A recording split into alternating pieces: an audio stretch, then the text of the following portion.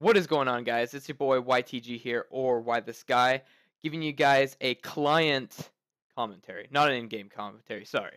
Anyways, so I am giving you guys this video here to talk about the new or the only series that I'm going to be posting up, uh, and it's going to be pretty epic. It's called the RAN series.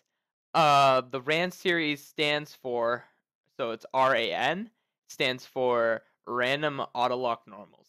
So what I'm going to be doing is I'm going to be giving you guys the pre-game screen of me locking in a random character, not giving a shit what the role is that's left over, and uh, then you guys will be seeing uh, me play the game with the champion in whatever role it is.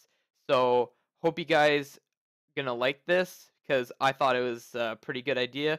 Uh, it's pretty brutal for an idea. Uh, hopefully, no one hates on it, but also I want people hating on it because that's gonna be the glory of the video.